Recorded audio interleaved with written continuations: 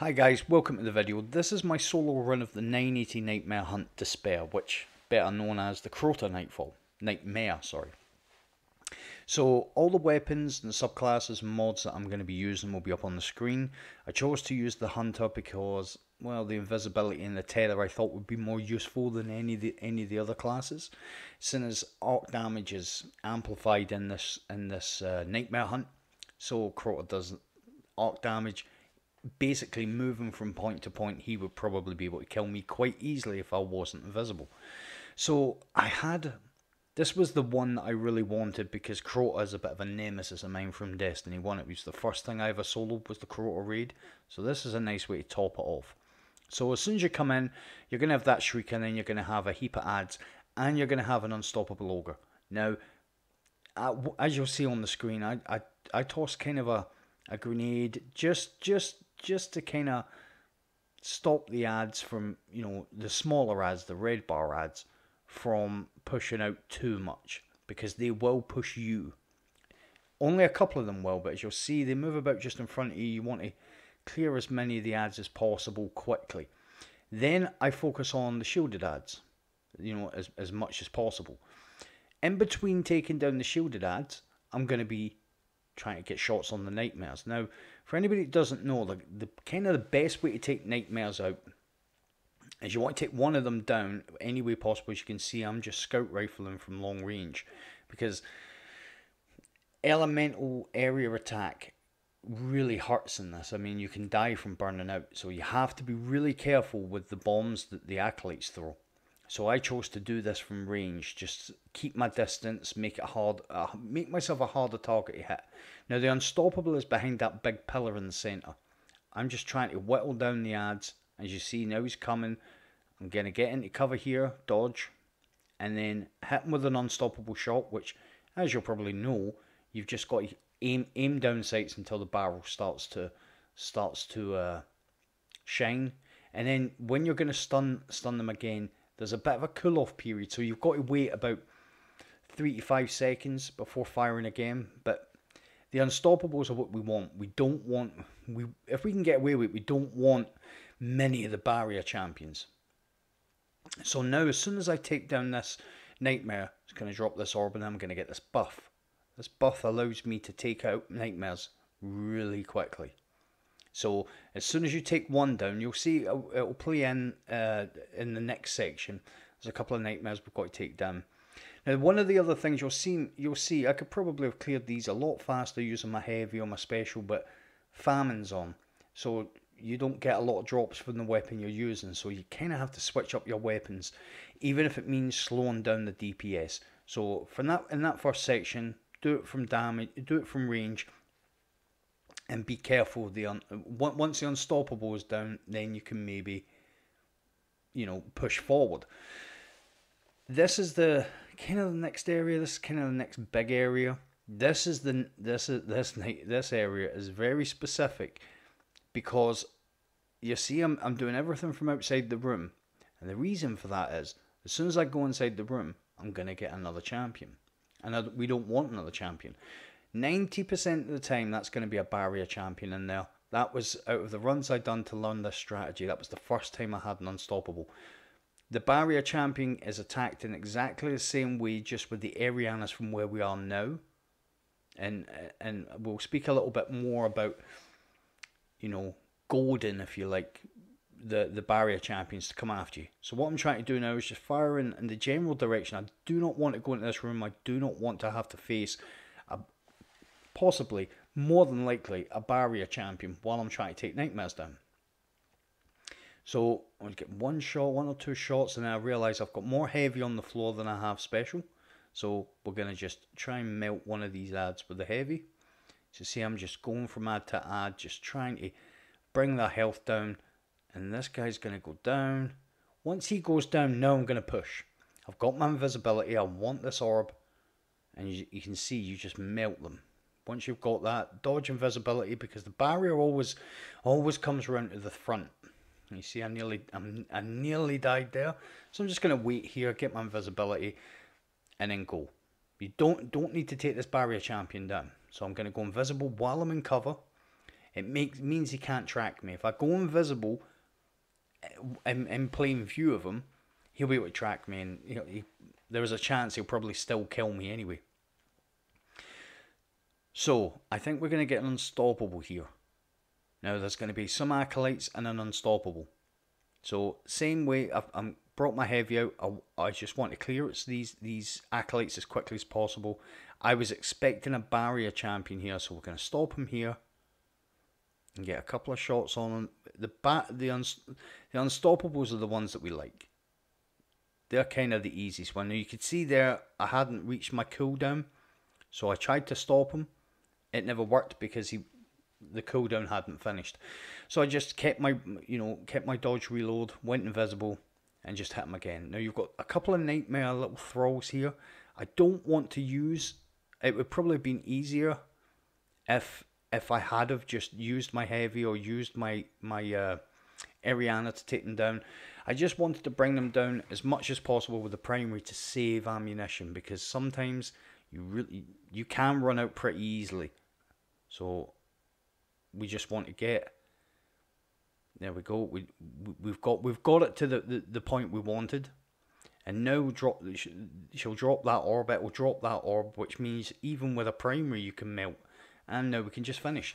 Now there is another there is another nightmare further up, but depending on what what boss you get up here, sometimes you won't get a barrier or a champion. Sometimes you'll just get an ogre. Sometimes you'll just get a red bar wizard, like we've got there. It just depends on what what what kind of heavy duty ads you get there. Sometimes the the nightmare will be there and you can just come round. You're still buffed you can just come round and just deal with the damage and finish the nightmare. It doesn't. Very rarely does it work like that. The nightmare will always, nearly always. It's normally not as far up to the back as that. It's normally over to the right. So you never really. I think in all the attempts I've done, I think maybe twice I managed to kill all these nightmares pretty quickly. But in the next area, again, you're gonna get a barrier a barrier champion nearly all the time. Now what I've learned is if there's a barrier champion here, you have to finish him. Because if you don't and you run past and just try to deal with these ads, the barrier champion eventually will catch up with you and kill you while you're trying to deal with this barrier champion. What can make it even more difficult, and it can make it more difficult, is if there's two barrier champions here. Now, it's not quite as bad as the 980 Nightfall, where the, the ads kind of. Uh, the ads shield each other. Now, I didn't see that other night, but it, it doesn't really matter. I'm going to go back down here and get ammo. So, with the barrier champions, kind of what I do is two headshots and they'll shield themselves. Two shots breaks the shield if they're headshots. Then I put the five rounds on them, and I've normally got a dodge reload at that point, and then put uh, two, one or two more shots on to kill them and that, that that's really that. So this area you're to have roughly the same. Sometimes you'll have an unstoppable. Most of the time it will be barrier champions, but again you can get you can get wizards, you can get uh, ogres. It, it, it's just all depends. And as you can see, we've got barrier champion. So we'll put one shot, second shot, and then two shots to break the shield. Keep hitting. Put all your ammo in. Dodge, reload, and and two more shots finishes him. And that's kind of how we do the barrier champions, even in the nightmare, even in the nightfalls. You know, time your shots, be efficient with your shots, it's, and hit headshots. When you're trying to break the shield, headshots count. So if you're hitting headshots, you'll break the shield faster.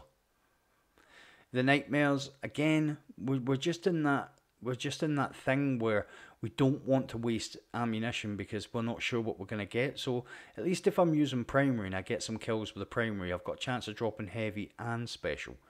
You know? Now it doesn't quite work like that. You know, uh, you can get heavy and special drops by getting kills with heavy and special. I'm just playing the the law of averages. So we're hoping that we can get this third nightmare. and we get the third nightmare. Now we've got a barrier champion, we've got a wizard as well.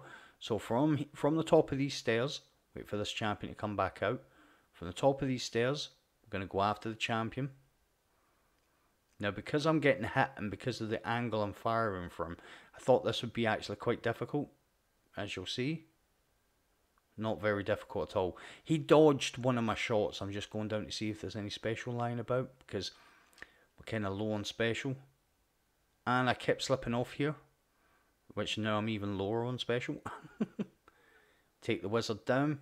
Just I had to. I knew I had special up top, and I was hoping these ads would drop special for me.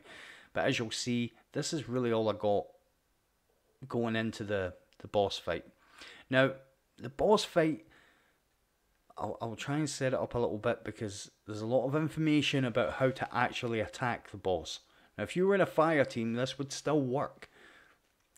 When you go in, obviously Crota's going to awaken, and then he's going to call his first wave of nightmare ads. Then they'll be shielded, and there'll be a yellow bar arc shielded knight who will have a sword. A sword is the only way you can deal damage to Crota when he's in his non nightmare state.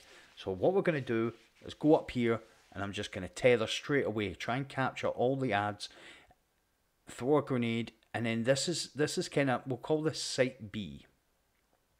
Now as you can see, we cleared almost every every one of the nightmares.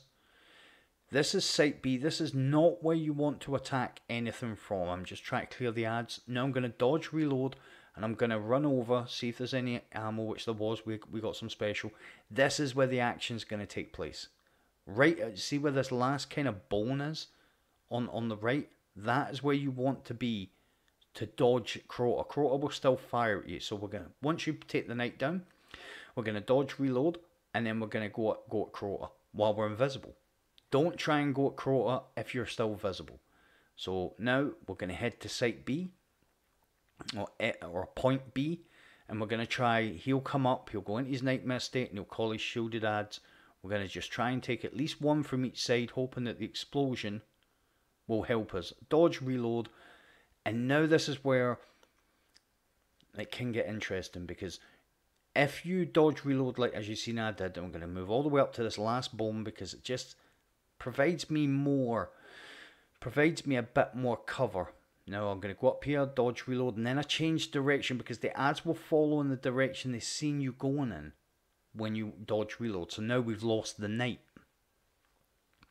So we're just making it, we're doing this dodge thing so that we don't get super pushed by ads. But as you can see, I keep coming out of my sights because the reason why we don't do any, any kind of real work over in this side is because Crota will push into that cave and one hit of the sword and you're dead. So we're going to do everything from here. So as you can see, you, you really can. We'll put down a smoke grenade and that stops that stops him from from coming at us. Stops the knight and then we'll finish him off. Dodge into the sword and grab it and then we'll push Crota. Now you've seen there it's it, it's really it, it's almost uh, a homage. We're going to try and get a tether off, tether those solar ones, see if we can grab any of them. I was lucky got I got some of them, and we just want to, because that will share the damage across them. You see, I nearly died there. That arc damage is that arc damage is real. Now, as I was saying there, Crota is quite, quite glitchy, and you would expect nothing less because he was probably the glitchiest raid boss in Destiny history. If you, if you're, if he sees you and, and you're not fast enough with your, your sword slam. I've I've had it a few times where he even though I've I've managed to get him to go down, he still killed me before he's took a knee. So you my advice with the, with the sword is make sure you're invisible when you grab it and get to him quickly, stop him quickly while you're invisible, and make sure you're on the same uh, level that he's on. Because if you're higher than he is and it takes you longer to to slam the sword. By the time you hit, he'll have killed you. So we never picked the sword up there, but we got him anyway. Now at some one point he's going to stand up while you've still got sword energy. If he stands up while you've got sword energy, disengage. as you can see, the ads have ran across and the ads have pushed. We'll just see if we can get a shot or two. But because because the the ads and Crota push in here, don't stand face to face and try and. There's only two ads. Just dodge reload. If you've got high mobility, I've got I think I've got 82 mobility or 81 or 82 mobility. Because my mobility is so high, that is what that's how you get your class ability back. There's no paragon mods anymore. It's the obviously with hunters it's mobility, with warlocks it's uh, recovery, and with uh, titans it's resilience. The higher your your uh, higher your stat for those things, the faster you get your class ability back. So with the hunter, obviously, it's high mobility. You get your class ability back faster. So I've I've got mine. I've got my class ability at. Uh, I think I get my class ability back after 13 seconds. So I'm again. I took a hit, dodge, reload, get out of there. We. The reason why I'm running from place to place isn't because I'm trying to get the perfect shot or, you know, oh I'm scared. Or, I'm trying to get Crota to move. As soon as I see that Crota's coming over, I can go back over because Crota's the one I'm kind of worried about. I don't care about the ads. I can, you know, dodge, reload, get out the way, tether. I've got loads of things to deal with the ads. But Crota hits so hard. And any if you push down a bit further than where we are now, he'll come round and and and it's it's you know there's no way of getting away from him. And as you can see there, if you when you actually slam, if you go to slam and you, like he's walked off this ramp, and you go to slam, we'll put up tether down, see what we can do here. If if if he's as you can see there, got good shots, good shots, took all the ads. We've got Orpheus on, so we are going to get quite a bit of our super uh, super back. What did we get there? About half. So yeah, if, if he walks off that, that centre part, the same way that the knight's going now, and you are raised above Crota and you try to just slam down on him from height, he will kill you before you, hit, you even hit the ground. You have to be on the same level as him. So I'm I feel confident I can take this knight.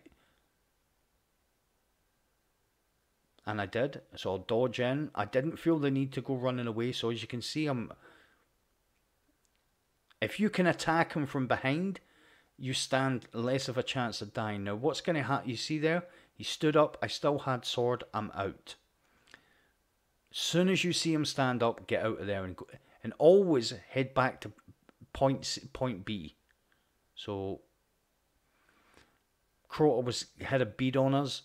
Now, some people might look at this run and, and think he's taking his time. He's running away. He's I'd rather stay alive than fail because I I decided to let my ego and my pride I needed to get one more shot. I'd rather just land my shots and do everything a little bit carefully and but more so there might be some people out there that that that, that, that this even what I'm doing now seems like it's a bit risky you know and that's the people i'm making these guides for if you don't need this guide i hope you enjoyed the, the run and the, to be fair, the level of uh, difficulty that this is, because make no mistake about it, this is the most, I think, after doing the ones I've done, I think this is the most difficult nightmare. It's definitely the longest. There's really no skippable areas. We'll put down a pre- precautionary smoke to try and keep them in the same place. Now, as you can see, I've got a lot more. I've got a lot more. Uh, we're still going to attack him. We're going to dodge. We're Gonna get that. Hopefully we get our health back. And I'm gonna hit him as much as I can. He's nearly dead. I'm gonna have to do one more sword. So what we're gonna do is just run away. I'm not gonna dodge just yet. Because as soon as I fire my tether, because I want to try and capture some ads if I can. And try and just get we never managed to get a shot off, so that the tether just kept them from roaming. Don't just if if if you feel like you're being pushed and you're you're getting nervous, then yeah, sure, dodge, get your invisibility and run away. Don't feel like you've got to do, you know, don't feel like you're failing if you're not doing damage every time you know the ads come up. Sometimes you've just got to position them just right. So as I say, I'm trying to keep in my sights because he does come in here. Dodge. As you can see, that was close. Had the Sword Knight. Had everybody pushing me, so it made sense. It made sense to get out of there. So up by this very last bone on the right hand side, we're just going to try and take these last acolytes. Now we can't do anything because we're being pushed, so we've got to do another circuit. It just is the way it is. This this last one seemed to take forever because the ads it was when the ads spawned in. The ads spawned in before I was ready to actually deal with them. So dodge this is this is kind of there's one ad still left up, but we want the knight. we do want the knight now to chase us.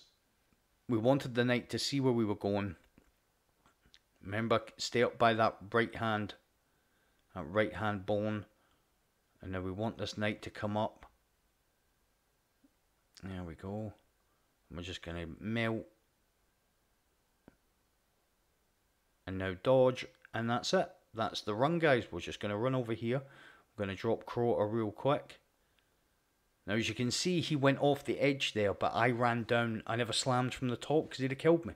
You've got to be on the same level as him.